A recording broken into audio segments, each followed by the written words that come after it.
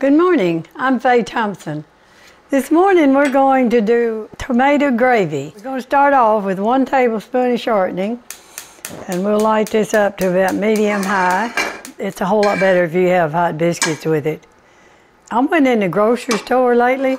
Of course, I make my own biscuits, but you know, uh, I could not find any biscuits in two or three different stores. First time I ever seen the stores that didn't have biscuits. In the store, it's those in the can that you bake. You can't find those. Okay, we're gonna put two tablespoons of flour, and I'm gonna go ahead and mix my salt and pepper into this. I used a table, a teaspoon of salt and about a half teaspoon, a little more of pepper. You don't want to let this get too brown now and burn it or anything. It wouldn't be good. But you let it get pretty dark.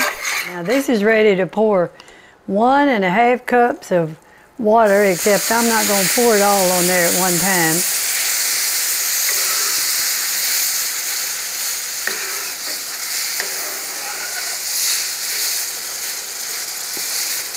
And I'm gonna, I've got 15 ounces of tomatoes, and they were the pureed tomatoes, but I pureed them again. I like mine chopped up pretty good, but that's up to you, whatever you like. We're going to cook that a little bit and then we're going to add the rest of our liquid to it. We'll put the rest of our water in it.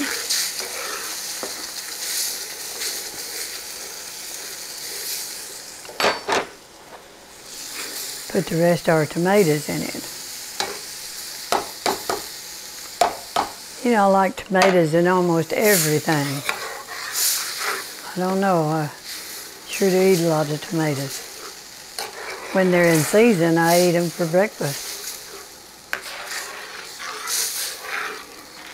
They're, all of our tomatoes in the Delta, Arkansas are delicious. They, I guess we have the kind of soil for them.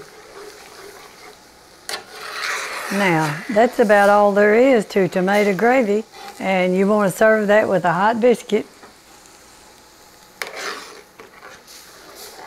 It looks about right to me. Now we've finished our tomato gravy and we're going to serve that over some hot biscuits. And I really do like this because I like tomatoes a lot.